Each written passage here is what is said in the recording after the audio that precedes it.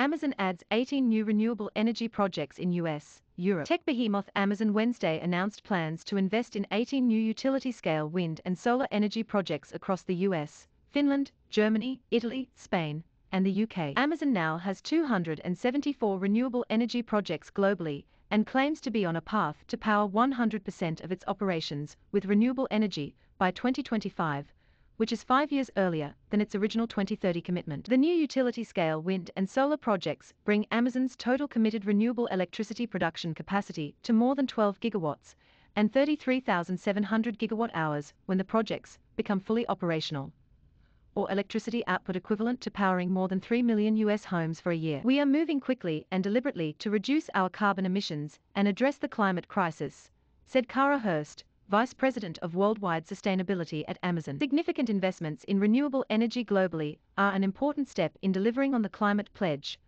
our commitment to reach net zero carbon by 2040, 10 years ahead of the Paris Agreement. For comments and feedback contact editorial at rttnews.com. Biotech stocks facing FDA decision in November 2021.